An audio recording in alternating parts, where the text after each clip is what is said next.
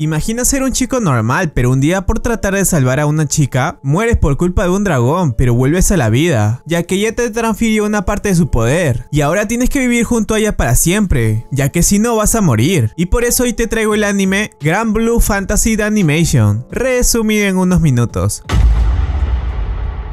Antes de comenzar con el video quisiera decirles que hay un sorteo activo en el canal, donde vamos a sortear dos PlayStation 5 y dos Xbox X Series, y 15 tarjetas de Crunchyroll. Lo único que tienen que hacer es suscribirse con la campanita activada, y lo más importante es comentar algo referente al video, ya que escogeré a varios comentarios random, y esas serán las personas ganadoras. Muchísima suerte a todos y espero que participes. Y ahora sí dentro vídeo, el anime comienza viendo a dos chicas corriendo, mientras son perseguidas por muchos soldados. Una de ellas se llama Catalina Liz, y la otra Liria. Después de unos momentos son acorraladas, y Catalina se adelanta y derrota a todos los soldados usando su espada. Ella le dice a Liria que todo estará bien y siguen corriendo. Luego se encuentran con un hombre llamado Pormer, y muchísimos soldados más. En ese momento vemos que Pormer saca una especie de cristal, y esto hace que Liria se ponga muy mal. Catalina le dice que se detenga, pero él le comenta que ella ya sabían lo que le pasaría si se rebelaban. En ese momento la gema sufre una reacción extraña y se rompe, y esto provoca una explosión en todo el lugar. Vemos que estaban en una nave como si fuera un barco volador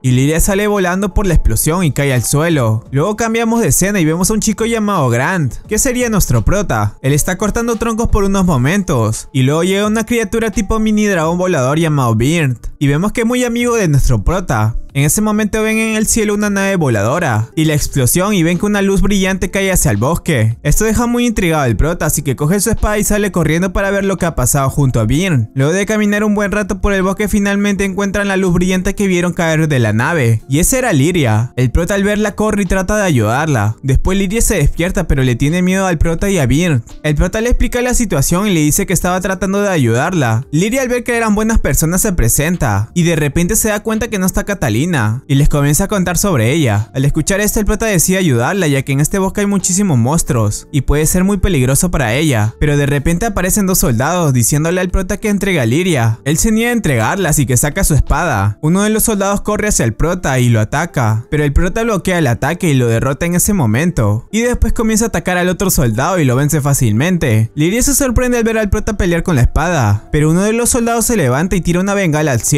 Esto hace que ahora todos los enemigos sepan su ubicación, así que salen corriendo. Liria le comienza a decir que estas personas son del imperio de Esther. En ese momento unos soldados los ven, así que los comienzan a perseguir, pero luego de unos momentos son acorralados. Pero llega Catalina y vence fácilmente a algunos soldados, y luego usa magia de hielo para que los otros enemigos no se puedan mover. Después de escapar, Liria le presenta al prota y a a Catalina como una teniente del ejército imperial. El prota le pregunta por qué las persiguen. Catalina le agradece al prota por haber salvado a Liria, pero no le puede contar eso todavía, así que solo le dice que Liria es una persona especial. Ella le comenta que el ejército mantuvo a Liria encarcelada durante muchísimo tiempo, pero ella no pudo soportarlo así que ayudó a Liria a escapar. El prota se ofrece a ayudarla sabiendo que se puede meter en muchísimos problemas con el imperio. Vemos que los soldados están empezando a interrogar de forma muy agresiva a las personas del pueblo para encontrar a Liria, pero Catalina al ver esto se enoja muchísimo así que sale y elimina a los enemigos, después el prota la ayuda, así venciendo a todos. Luego se van para buscar una nave voladora y así Liria puede escapar, pero en ese momento aparecen más soldados y los atacan, pero Catalina lo bloquea. Después aparece Pomer y le dice que el imperio tiene una imagen que mantener, así que no los puede dejar con vida. De repente se escucha un sonido muy fuerte de una bestia y aparece un dragón gigante de tres cabezas y ataca al prota. El dragón comienza a tirarle bola de fuego al prota por la boca. Él logra esquivarlas, pero en ese momento el dragón se acerca a él y con su garra le hace un corte muy profundo en el pecho. Catalina y Liria quedan en shock al ver esto y no saben qué hacer.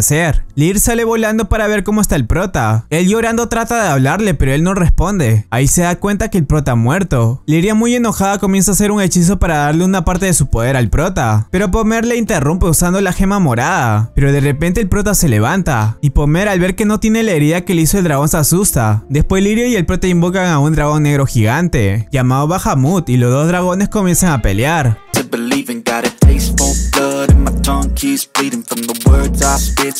Drop so freezing, so cold. Behold, frostbite they. I tear you apart or I could go heal them. Don't believe in don't believe in. I Liria termina ganando la pelea y destruyendo casi todo el bosque. Al ver esto por mérito los soldados salen huyendo del lugar y luego el dragón que invocaron entra dentro del collar de Liria. Después el prota cae desmayado ya que se puso muy débil por la invocación y comienza a tener un flashback cuando era niño. Él estaba leyendo una carta que le dio su padre y en ese momento llega Byrne y el prota le comenta que su padre le habló sobre la isla del viento y la isla del fuego, donde hay dragones enormes y gente con poderes. Después llega su amigo llamado Aaron y le dice que todo eso es una fantasía, pero el prota muy enojado le dice que es real y que en el futuro será un caballero como su padre. En ese momento despierta y ve que está en una cama. Liria se emociona ya que lo estuvo cuidando todo este tiempo y le pregunta si está bien. El prota le dice que sí. Ahí aparece Catalina y le comenta que los soldados se fueron por el momento y nadie en el pueblo salió lastimado. Y el único que resultó herido fue él y que en un momento llegó a estar muerto. Catalina le comienza a decir que la magia puede curar personas, pero no regresarlos a la vida. Y le comenta que esto fue por el poder de Liria. Catalina le dice al prota que hace unos años el imperio estudia cristales originales para expandir su territorio y Liria es la clave para esta investigación. Pero como nadie pudo analizar su poder así que por eso la encerraron por muchísimo tiempo, hasta que llegó ella para salvarla. Ella le comenta que Liria controla los poderes de los cristales originales,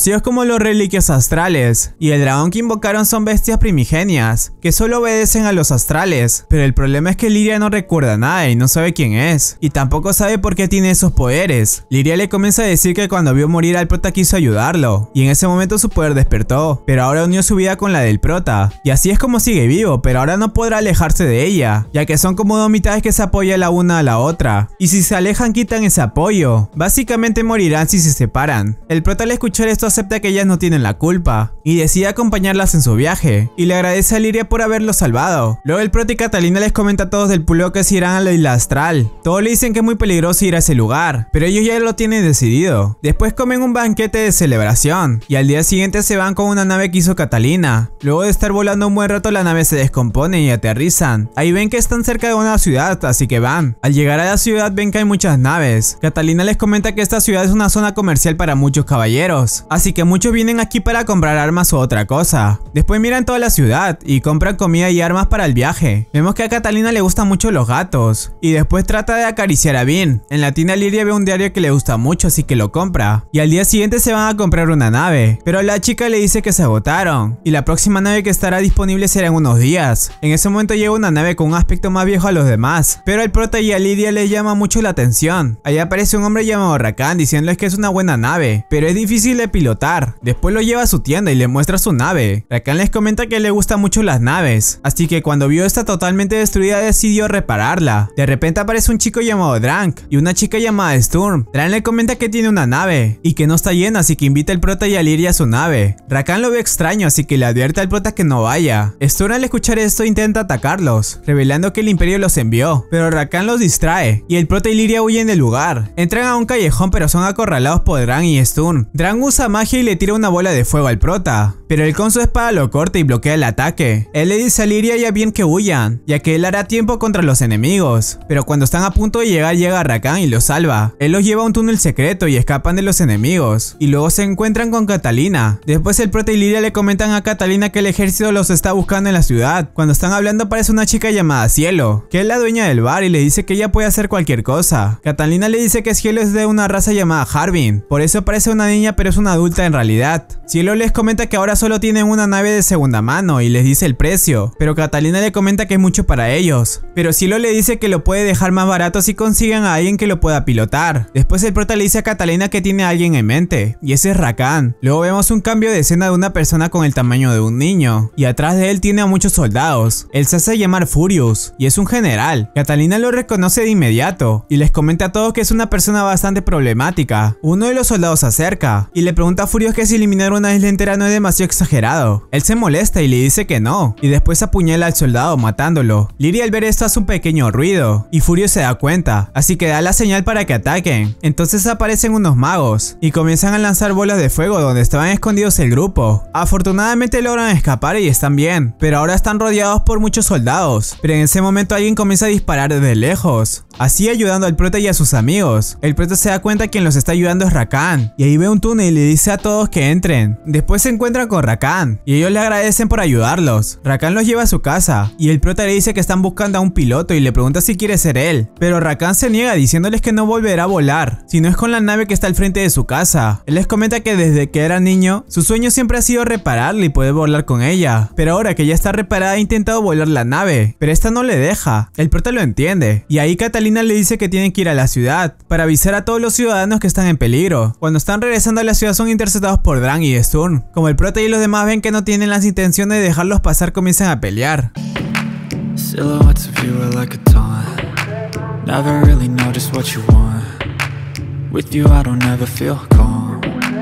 I don't feel sweat inside my palms.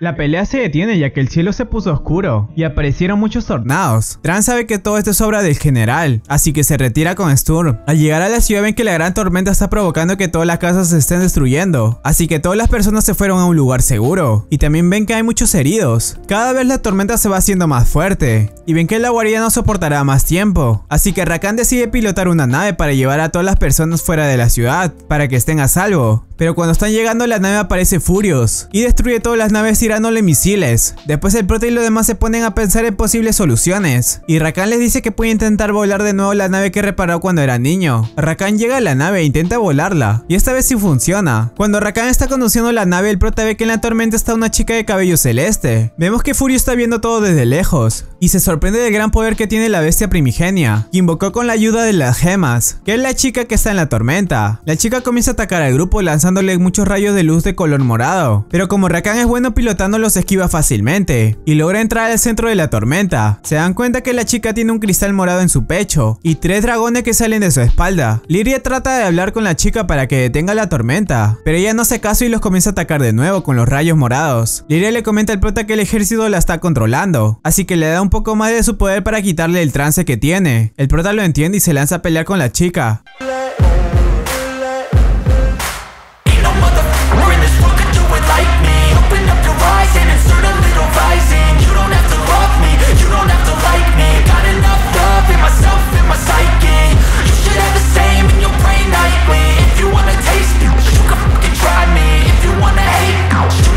Al final termina ganando y logra romper el cristal morado, así liberándola de su trance. La chica está muy agradecida de que la hayan ayudado, así que les da un regalo y después desaparece. Luego se van a comer y ven el regalo que le dio la chica. El prota al tocarlo ve unas imágenes. Catalina les comenta que puede que sea un mapa para llegar al lugar que quieren ir. Después el prota se va a hablar con Rakan. Él les comenta que ahora sí los ayudará con su viaje. El prota se pone muy contento y le comenta que irán a la isla astral y le da la carta de su padre para que lo lea. Ahí su padre le dice que lo estará esperando en esa isla y al día siguiente parten rumbo a su destino. Llegan a una ciudad así que bajan para reponer suministros, pero ven que casi no hay nadie en toda la ciudad. Después se van a un restaurante y ahí se encuentran con un hombre que le dice que es un agente secreto. Él le dice que si le pueden ayudar a buscar el archiduque Saka, que actualmente está desaparecido. Lidia le comenta que el archiduque es una de las personas más importantes. Me olvidé mencionar que están en otra ciudad, pero controlado por otro reino. El prota al escuchar esto acepta la misión, y todos los demás están de acuerdo. Al día siguiente salen a preguntar a las personas para tener información. Una chica le comenta que el archiduque es una buena persona, que le gusta ayudar a las personas, y también entretener a los niños con su magia. En ese momento vemos que alguien los estaba espiando. En la tarde todos se reúnen, y comentan que todos los ciudadanos adoran al archiduque. Así que si se dan cuenta que el archiduque está desaparecido va a haber muchos disturbios en toda la ciudad. Luego se van a investigar a un lugar y Catalina se da cuenta que alguien los está siguiendo. Ella le comenta que esta persona los está siguiendo desde ayer y que está usando magia para que no puedan verla. De repente se escucha un grito de una chica y cuando van a ver unos duendes la estaban atacando. El prota rápidamente va a ayudarla y derrota a los duendes fácilmente. Ella se presenta como Aoi y le dice que es una maga y que los ha estado siguiendo porque también quiere encontrar al archiduque. Aoi le dice que él es un maestro de magia, pero un día comenzó a actuar extraño y desapareció sin decir nada. Con la ayuda de Aoi logran encontrar el lugar para seguir investigando. Entran a la cueva y Aoi se percata que hay una entrada secreta que estaba escondida con magia. Entran y ven que es como un laboratorio. Pero en ese momento aparece Dran y Sturm y llega una chica,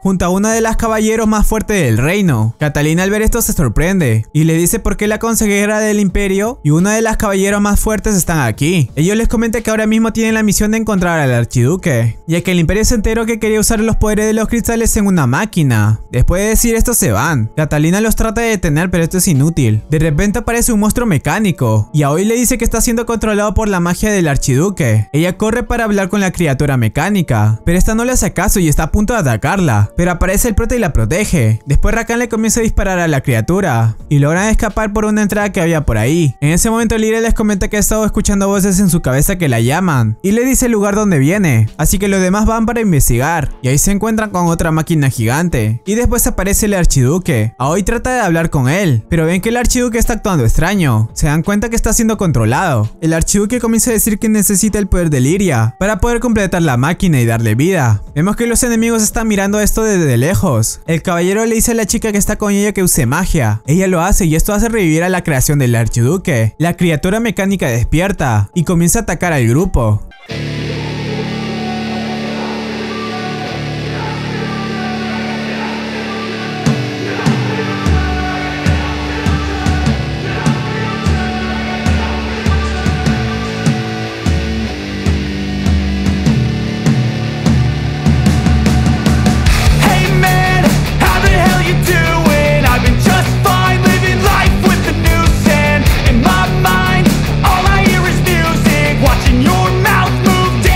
Equipo. Después Aoi hace que el archiduque vuelva a recuperar la conciencia. Y ahí nos cuentan el pasado de Aoi. Hace tres años una enfermedad mató a sus padres, así que tuvo que vivir sola. Hasta que el archiduque apareció enfrente de ella. Y él fue la única persona que la comprendía. Y con su magia le hizo sentir mejor. Y se convirtió en su discípula. Al día siguiente el prota y los demás están a punto de partir, a su siguiente viaje, pero en eso llega hoy, y les dice que irá con ellos. Luego de viajar por un tiempo encuentran unas ruinas, así que deciden entrar para investigar, pero el suelo se rompe y todos terminan cayendo a las profundidades. Por suerte nadie está herido, pero se separaron. Por uno de los agujeros sale un murciélago con la intención de atacar, pero Catalina lo elimina fácilmente. En el lado del prota comienza a salir por uno de los agujeros muchísima agua, pero hoy usa su magia y lo detiene. Vemos que hay muchísimas trampas peligrosas en la cueva, pero afortunadamente Catalina y Lirian logran pasarlas. Como el prota y Lirian están conectados saben en qué dirección está el otro, así que se buscan. Donde está el prota se escucha una explosión. Vemos que también hay dos chicas en la cueva. Una de ellas se llama Mari y la otra Carva. Ellas están peleando con un monstruo que está hecho de arena.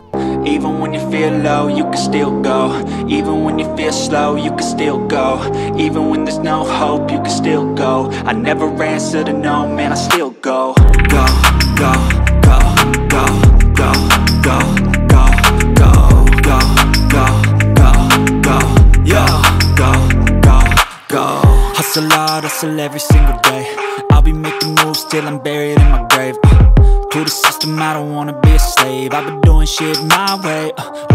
vencer a la criatura. Y después de eso se abre una puerta que contiene mucho dinero y tesoros. El prota ve una espada que le llama mucho la atención, pero al tocarla libera una luz brillante y los teletransporta otra vez a la superficie, pero sin el tesoro. Luego Mari y Carva se presentan al grupo del prota, pero la vemos que están enojadas, ya que no pudieron sacar nada del tesoro. El prota trata de darle la espada, pero ella le dice que se la puede quedar. Luego vemos salir en un lugar como si fuera una biblioteca. Ve a todos sus amigos muertos en el suelo y al frente de ella había otra persona igual que ella, pero despierta y ve que todo era una pesadilla. Al día siguiente vuelven a partir a su destino, hasta que llegan a una isla. Parece que en la isla no hay nadie, pero Liria presiente algo así que salen a buscar si hay personas. Después las encuentran y resulta que una de ellas reconoce a Rakan. Él se llama Eugen y lleva al grupo a dar un paseo por todo el lugar y los lleva a su guarida. Él les comenta que la ciudad está en peligro por culpa del imperio y por eso están en guerra. El grupo se sorprende por la hermosa que está la ciudad. Después Eugen le dice que cada vez están apareciendo más monstruos por toda la ciudad, por eso hay muchísimos heridos. Hoy se propone ayudar a los heridos con su magia de curación, así que se va. Después el prota y Liria se van a comprar los suministros que necesitan en la ciudad. Cuando están comprando Liria se queda viendo un collar. Como el prota vio que le gustaba, se lo compró como regalo. Después vemos que unas personas encapuchadas los estaban vigilando. El prota recuerda que olvidó comprar algo muy importante, así que sale corriendo dejando sola a Liria. Pero cuando regresa Liria no estaba. Vemos que ella había sido capturada por los encapuchados y no podía usar su poder, ya que uno de ellos tenía una gema morada. El prota trata de perseguirlos pero este es inútil y escapan. Ahí se da cuenta que toda la ciudad está siendo invadida por el imperio y vemos que ahora Pomer tiene a Liria y está lastimando a todos los ciudadanos. Liria le ruega que se detenga pero él no le hace caso y después agarra el regalo que le dio el prota y lo rompe. En ese momento llega el prota para tratar de detenerlo, pero Liria está muy enojada y comienza a invocar un dragón marino. El dragón comienza a destruir todas las naves enemigas. El prota logra sacarse a Pomer y lo golpea y después trata de hablar con Liria pero está fuera de control. En ese momento el dragón marino provoca un tsunami gigantesco y está a punto de matar a todas las personas ahogándolas, pero aparece una chica llamada Rosetta y los rescata usando su magia. Después el dragón marino desaparece, pero Liria no logra despertar y todos no saben qué hacer. Llega Rosetta y le dice que la única forma de poder curar a Liria es que el prota se vincule otra vez a ella. Llega la noche y el prota y Catalina se quedaron a cuidar a Liria. Catalina le comenta que el ejército imperial estudiaba unos cristales mágicos y a Liria para usarlos como armas, pero un día Liria invocó una criatura muy peligrosa por accidente, así que el imperio decidió encerrarla de inmediato y a Catalina le asignaron para que sea su guardia y todo el tiempo que pasaron juntas ella se encariñó con Liria Después de escuchar todo esto al día siguiente parten a su siguiente destino, con Liria pero aún no logra despertar. Vemos que Liria en su mente tiene el mismo sueño una y otra vez, donde todo su grupo muere, y ella cree que todo eso es su culpa. Luego el grupo llega a una cueva, donde hay un árbol gigante, y Rosetta le dice que aquí podrán hacer que despierte Liria. Vemos que en el árbol sagrado hay una chica, que es la guardiana del bosque. La chica conoce a Rosetta así que baja para darle un abrazo. Ella le comenta la situación y le pide que ayude a Liria. Ella acepta así que pone a Liria en un altar. A hoy le entrega al prota el regalo que le dio a Liria. Ella le dice que vio cómo lo rompieron así que lo reparó. La guardiana del bosque comienza a hacer un conjuro y el prota logra entrar al sueño profundo que tiene Liria. Él la encuentra leyendo un libro y habla con ella pero no le responde. Liria comienza a decir que está tratando de recordar algo muy importante que olvidó. Vemos que Liria se culpa por las muertes que ha causado y dice que ella solo es una simple arma. El prota le comienza a decir que esto no es su culpa y que es culpa del imperio, pero ella sigue convencida de que todos van a morir por culpa de ella. En ese momento Liria comienza a sacar al prota de su mente y le dice que le dará toda su vida, pero el prota se niega a dejarla morir y le lanza el regalo que le dio en la ciudad. Liria al ver esto se pone muy feliz y el prota le invita a seguir con el viaje que tienen, a lo que ella acepta. Al final Liria logra despertar y se disculpa con todos por haberlos preocupado, pero nuevamente aparece Pomer con sus soldados pero esta vez tiene a unas bestias y rodean a todo el grupo. Con la ayuda de Rosetta y la chica del bosque logran vencer a todos los enemigos. Después se van de regreso a la ciudad y ven que el dragón marino está fuera de control otra vez y está atacando a toda la ciudad. Los ciudadanos tratan de detenerlo, pero esto es inútil, ya que no le hacen nada. En ese momento todos los guerreros de la ciudad llegan y se reúnen para vencer a la criatura y todo. It's time to look at the enemy. Look in the mirror if no friend me. It's not working out, maybe it's the chemistry. It's time to break up so I can make a better. Better believe in your mind, it's everything. You can mold, shape, find almost anything. All it takes is some time and some clarity to find your identity. It's mind